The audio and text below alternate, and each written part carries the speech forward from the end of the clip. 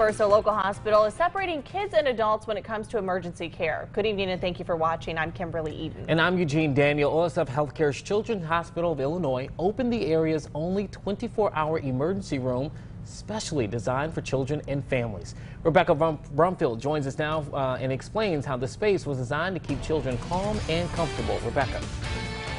Eugene Kimberly, our medical needs are far different than those of a child. This emergency room focuses on keeping children cozy in a very stressful situation. It also includes a separate entrance and waiting room for children and families.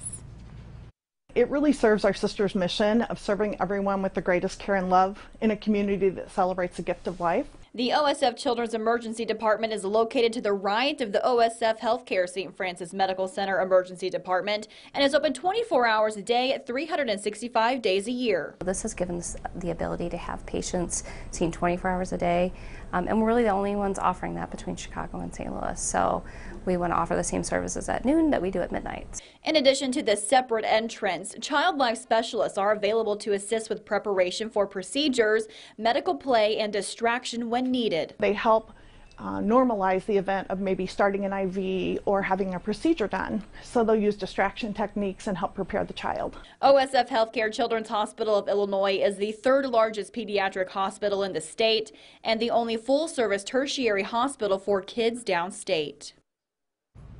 Children's Hospital of Illinois has more than 6,000 admissions, more than 2,300 newborn deliveries, and nearly 12,000 emergency department visits each year.